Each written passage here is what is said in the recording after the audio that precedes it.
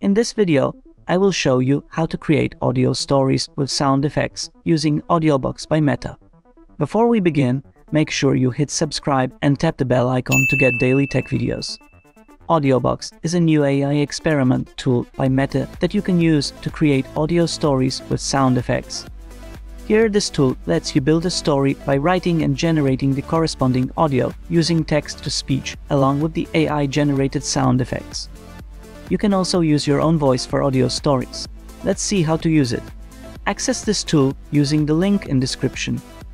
It has a simple interface and you don't need to sign up anywhere.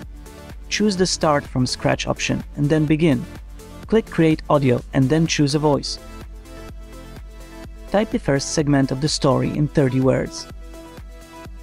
Next click Generate and it will generate two variations of the audio for you.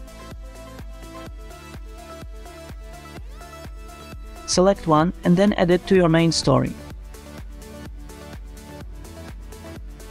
Now, repeat the same process, but this time generate a sound effect for the segment that you generated earlier.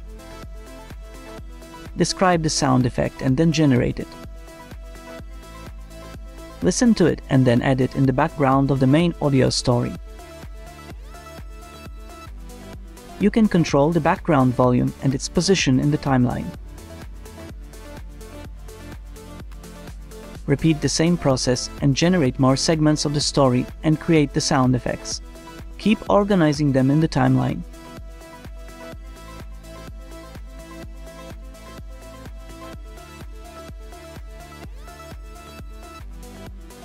For now, it only has a few voices for TTS, but you can use your own voice as well by uploading a sample and letting it create the custom voice for you. You can do that by using this register your own voice option. So, create your story and from the main UI, you can play it. Once you are satisfied, just download it and then share it with anybody you like.